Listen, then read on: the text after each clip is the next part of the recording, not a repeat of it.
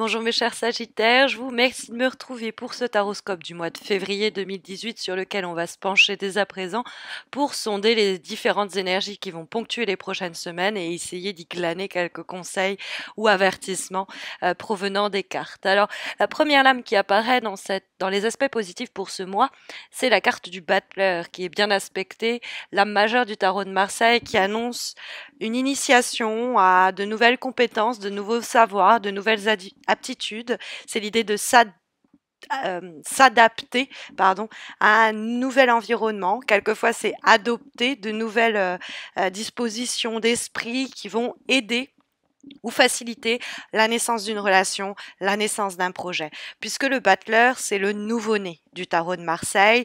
Il arrive sur Terre comme ça et il a sur sa table l'ensemble des outils qui vont lui, mener, lui permettre de mener à bien sa quête, c'est-à-dire tout le potentiel, ces outils étant les deniers, les coupes, les bâtons et les épées. Hein, c'est au terre, air, feu, c'est euh, le cœur, l'esprit, l'action et la matière euh, qui s'expriment à travers ces énergies-là. Et donc il a comme ça sa boîte à outils qui est face à lui et qui va lui permettre de se réaliser.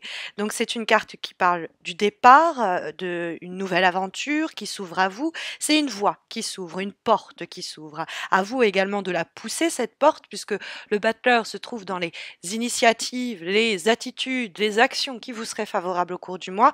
Et donc cette carte symbolisant l'espoir et permettant à quelque chose qui jusqu'alors était confus de prendre une forme beaucoup plus circonscrite euh, vous invite donc cette carte à euh, ouvrir grand vos bras à tout ce qui prend son origine euh, au cours du mois de février ou a débuté assez récemment. C'est en effet une carte de nouveauté. C'est euh, l'idée de, de, presque de terre vierge comme ça à conquérir, euh, une lame qui va euh, encourager, par exemple, euh, les nouveaux projets, les, aussi les, travailleurs indépendants. C'est une carte euh, qui nous parle de savoir s'autogérer, de, de savoir initier de nouvelles modes, quelquefois même. Hein. tout ce qui va être de l'ordre de l'innovation, des initiatives, des voies nouvelles, va marcher ce mois-ci. Il faut oser de nouvelles choses. Hein.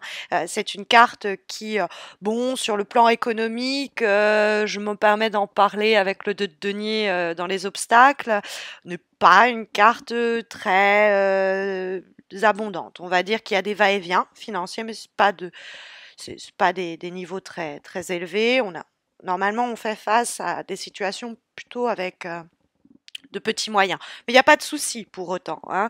Euh, sur le plan euh, affectif, amical, c'est une nouvelle rencontre, c'est sinon la régénération d'une rencontre, c'est quelque chose qui pour le début semblait un peu branlant et qui commence à prendre forme ou racine. Euh, c'est une bonne période pour euh, prendre des risques, changer de peau à travers cette nouvelle rencontre. On a envie de plaire d'une nouvelle façon et donc on se découvre et se redécouvre à, travers l'autre. Il y a quelque chose d'assez juvénile dans la carte du battleur qui, euh, qui est très très hum, rafraîchissant. Hein. il y a le magnétisme comme ça qui joue et qui joue un rôle positif. Mais dans ces nouveaux débuts, dans ces nouveaux départs, vous pourriez vous retrouver dans la du jongleur, hein, euh, du 2 de denier qui se trouve euh, dans les obstacles pour ce mois de, février. Bon, il en faut hein, des obstacles dans le cadre des tirages en croix, donc euh, n'en prenez pas ombrage de cette carte qui pose problème. Alors évidemment, c'est les petites pièces d'or, elles peuvent, euh, elles peuvent nous parler, elles peuvent ces petites pièces d'or euh, nous parler de l'aspect économique, hein, euh, c'est évidemment envisageable. elles nous parlent dans ce cas-là d'une d'une forme d'indécision. Qu'est-ce que je fais Comment je gère Est-ce que je vais arriver à, à joindre les deux bouts Est-ce que cette situation est matériellement viable Est-ce que elle va me permettre de euh, matériellement m'en sortir. Par exemple, on a un nouveau projet qui naît et on est en train, on nous offre une nouvelle opportunité d'emploi aussi, c'est éventuellement possible. Il y a l'embauche qui est éventuellement euh, signalée par cette carte euh, du battleur. Et donc dans ça, on est en train de se dire est-ce que je vais arriver à jongler? Ça peut être en dehors de l'aspect matériel, est-ce que je vais arriver à jongler parce que j'ai d'autres projets à côté, parce que j'ai d'autres centres d'intérêt qui m'occupent, qui demandent euh, que je m'investisse et que je me que je me montre responsable. Et donc, euh, face à ce renouveau et ce début qui pourrait, dans ces premiers temps, consommer du temps, de l'énergie, euh, se dire est-ce que je vais arriver à maîtriser tout ça? Alors, il risque d'avoir des problèmes. Hein, je vous le dis franchement, comme le de denier dans les obstacles, il y a une possibilité de perte de contrôle ou d'insécurité, de difficulté à, tout gérer simultanément. On se trouve comme le jongleur avec des difficultés à tenir bon et à gérer ses finances ou ses divers projets, euh, ses, divers centres d'intérêt. Euh, il y a euh, beaucoup de choses qui nous occupent et on doit en délaisser certaines. Hein. Donc il y a, y a une comme ça on est un petit peu débordé avec le denier. Ça peut être plus généralement à l'égard de, ces, de ce renouveau ou de ce commencement des questions qui sont formulées. C'est-à-dire qu'on est dans des doutes et des questionnements intérieurs. On a certains, certaines hésitations. Est-ce que je dois me lancer? Est-ce que c'est bien prudent? Est-ce que je ne devrais pas être encore un petit peu euh, sur la réserve? Euh, On est dans une crainte de perdre peut-être une forme de pouvoir ou de stabilité dans notre vie. Pour autant, le de denier, même s'il est dans les obstacles, il nous dit qu'à cela tienne, on va prendre chaque chose étape par étape. Évidemment, si on considère la montagne qu'il nous faut gravir, gravir et grimper comme ça, escalader tout de go, on va se dire mon Dieu, je vais jamais y arriver. Par contre, si on segmente cette, euh, progression euh, à travers différentes étapes et que on va se mettre bien en tête que tout ce qui doit nous intéresser, c'est l'étape suivante et pas l'étape finale, on va comme ça avancer d'étape en étape, de moment en moment, avec une meilleure gestion des choses, sans se sentir noyé, débordé par les événements. Pour cela, il va falloir évidemment nous montrer vigilants et attentifs, nous dit le neuf de bâton. Rester sur ses gardes. Alors, rester sur ses gardes, évidemment, euh, ça peut nous parler d'être euh, vigilant et prudent face aux personnes avec lesquelles on se lance dans ce nouveau projet, face euh, aux personnes qui ont une interaction avec ces différentes responsabilités qui nous incombent au cours du mois de février et avec lesquelles on va avoir du mal à, jongler. Néanmoins, euh, ce, ce neuf de bâton nous dit si on reste alerte, qu'on est capable de discerner où sont les pièges éventuels pour les désamorcer avant qu'évidemment évidemment ils se produisent, si on est capable aussi de savoir tracer des limites en disant ça c'est chez moi, ça c'est mon ça c'est mon champ euh, d'action, c'est pas le tien, ou ça c'est ma vie, tu n'y mets pas les pieds, ou ça c'est euh, le domaine du personnel, ça ne se mélange pas au professionnel. Plein d'éléments qui peuvent vous aider à tracer un trait entre votre euh, ce qui va vous apporter une sorte de quiétude et de sérénité pour que vous restiez bien droit dans vos bottes et que on vous fasse pas tanguer ou que les événements ne vous fassent pas vaciller. Euh, ça peut être face à ce nouveau départ, de bien arriver à segmenter les choses, les, les compartiments, on les aime pas en général. Mais là, c'est bien de se dire, OK, j'ai déjà ça à gérer, j'ai déjà ça sur le feu. Euh, si en plus j'ai cette nouvelle rencontre, ce nouveau projet ou ce renouveau, je risque un peu de m'y noyer. Or, le neuf de bâton, il se noie pas, il a les pieds euh, bien ancrés dans le sol et on va pas le, le faire bouger. C'est quelqu'un qui se montre déterminé, persévérant et qui est capable d'affronter les obstacles ou qui est capable de dire quand c'est trop, c'est trop. C'est quelqu'un qui va pas se montrer frileux pour autant c'est capable d'avoir des succès euh, à partir du moment où on défend ses idées, où on défend aussi sa liberté. Il y a l'idée de clarifier les choses quelquefois en prenant une respiration et en disant calmement à la personne ou aux personnes concernées que là, ça ne va pas, ça ne marche pas, que je ne peux pas encaisser plus, que je ne peux pas endurer plus, ou que ça, ça ne me convient pas. Mais c'est vrai qu'il y a l'idée quand même de fatigue hein, qui ressort à travers ce tirage, à travers le 9 et notamment le 10 de bâton. Euh, aussi euh, une carte euh, qui nous met en garde, le 9 de bâton, contre les idées préconçues qu'on pourrait avoir ou les réponses toutes faites au sujet de peut-être chamboulement ou hésitation qui pourraient être les nôtres. Hein.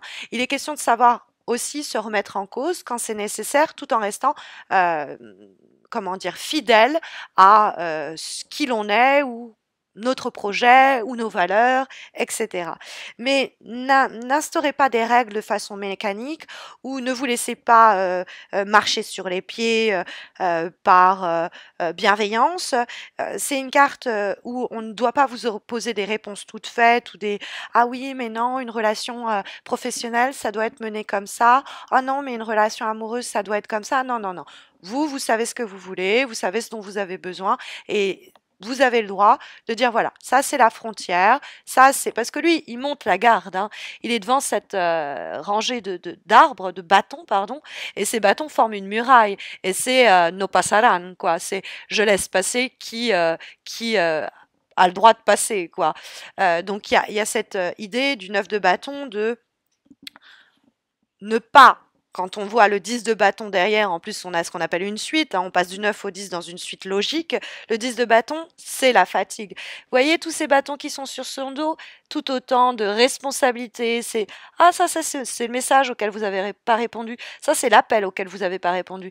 Ah ça c'est la démarche que vous n'avez pas faite. Ça c'est le rendez-vous que vous avez raté. Ça c'est le rendez-vous que vous devez prendre. Bon, voyez un petit peu ce que je veux dire. Et ça s'accumule et ça s'accumule. Avec l'arrivée d'une nouvelle personne, d'un nouveau projet dans votre existence, ça va être encore plus difficile à gérer.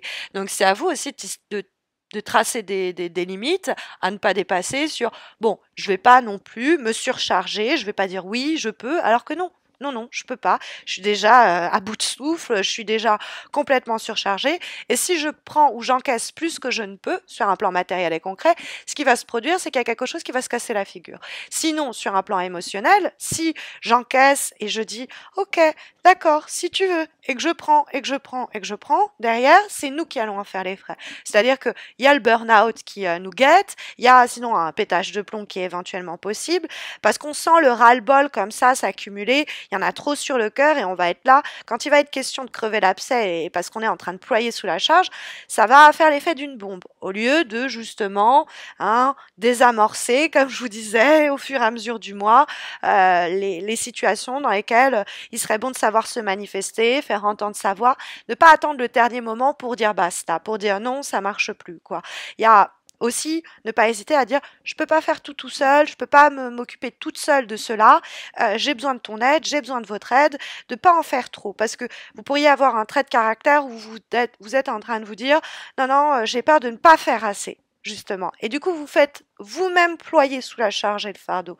Parce que aussi, vous dites, non, mais c'est bon, ça me gêne pas. Une fois, deux fois, trois fois. Et puis à la fin, bah, c'est la goutte d'eau qui fait déborder le vase et vous ne pouvez plus rien du tout encaisser. Donc il y a une certaine fatigue, un certain fardeau parce que votre planning semble bien chargé pour ce mois de février.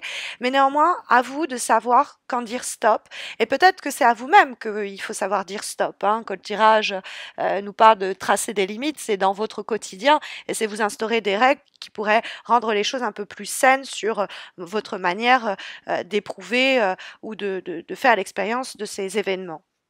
Nous avons comme avant-dernière lame, qui va être un, avant-dernier conseil pour ce mois de février pour vous, mes chers Sagittaires, nous avons une lame issue de l'oracle Tao qui nous présente une montagne à travers de multiples saisons et elle reste, elle, inchangée. Et ça nous dit, ça nous parle de durée, le fait de durer. La duration, bon, il euh, y a pas, je vais pas vous le traduire littéralement, mais c'est l'idée de longévité, si vous préférez. En fait, c'est euh, l'idée de durée, c'est cette montagne qui ne bouge pas en fonction des saisons, instaure l'idée de euh, stabilité. C'est cette idée de faire face, quoi qu'on nous oppose, aux événements on fait face à ces événements, on fait face à cette situation et surtout on tient le cap.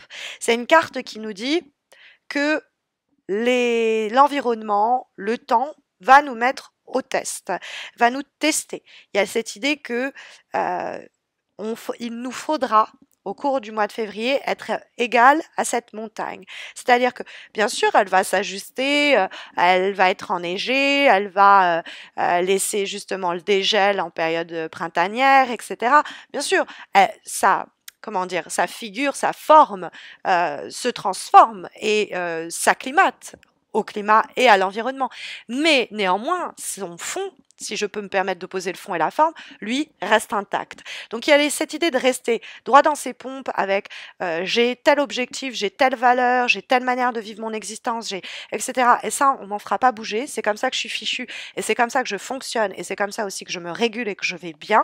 Donc je on ne fera pas bouger de ça. Par contre, bien évidemment, il y a quelques compromis, quelques réorientations à faire. Je ne suis pas sourd, sourde. Je peux restaurer une balance en ayant justement euh, la présence d'esprit de voir ce que j'ai en objectif, ce qui est dans ma perspective d'avenir et où je me tiens, mon chemin pour y arriver, un chemin qui m'est propre, auquel je peux me montrer fidèle parce qu'il me ressemble, donc ne pas se compromettre ou compromettre sa vérité, et euh, malgré des zones ou des périodes de tension, de pression, etc., rester, ne pas paniquer et rester comme ça dans euh, cette idée voilà, ça c'est moi et ce sera comme ça et ce sera pas autrement. D'ailleurs, c'est une carte qui nous parle dans le cadre de l'oracle Tao que cette idée de stabilité représentée par la montagne est en fait euh, cette vertu, cette qualité, hein, puisque c'est désigné tel quel par le, le, tao, le tarot le l'oracle Tao, euh, que c'est les, les, fondations essentielles et nécessaires à un quelconque euh, mariage, union, partnership, collaboration. Hein. c'est que il y a l'idée que ça s'enracine dans une capacité que malgré les différentes saisons, le beau temps comme le mauvais, on reste fidèle à certaines vertus, à certaines valeurs et à certains objectifs, sinon sur un plan plus matériel et concret. En dernière lame, comme dernier conseil, issu d'un nouvel oracle, cette fois-ci euh, celui euh, nommé Journey of Love, nous avons la carte Dance of the Planets. Donc l'idée de la danse des planètes, carte un peu cosmique, assez belle, euh, qui nous parle un petit peu de comment dire, de timing plus plus général. C'est un petit peu comme s'il y avait l'alignement des planètes. Hein. C'est l'alignement de certaines choses, de, certaines, de certains événements qui se goupillent, qui se mettent dans une certaine disposition et desquels vous allez, enfin, vous allez faire les frais de cet alignement, que ce soit positif ou négatif d'ailleurs, mais c'était prévu d'emblée, qu'il y ait cette énergie en place à ce moment-là de votre vie. Pourtant, ce sont des énergies qui, comment dire, euh, ne sont pas propres à votre existence. C'est des énergies déjà en place dont vous bénéficiez ou qui viennent vous parasiter, mais qui ont un effet sur votre destin sans pour autant euh, faire partie lui-même de votre destin. Ça vient euh, faire se mettre en, en, place et en branle certains événements. Donc il y a l'idée qu'il y a un, il y a une possibilité qu'ici des choses se réunissent à certains moments au cours du mois de février pour créer un très bel alignement qui vous permette des changements importants, comme ça, comme, euh, comme si l'aléatoire, la providence, le destin, appelez ça comme vous l'entendrez, vous venez aussi en aide, ou en tout cas disposer les choses d'une certaine façon à ce que ce renouveau soit permis, qu'il se conjugue à une multiplicité de challenges et de défis simultanés dans lesquels vous allez devoir un petit peu endurer, mais à travers lesquels vous allez pouvoir vous affirmer. Parce que le 9 de bâton aussi nous parle de ça.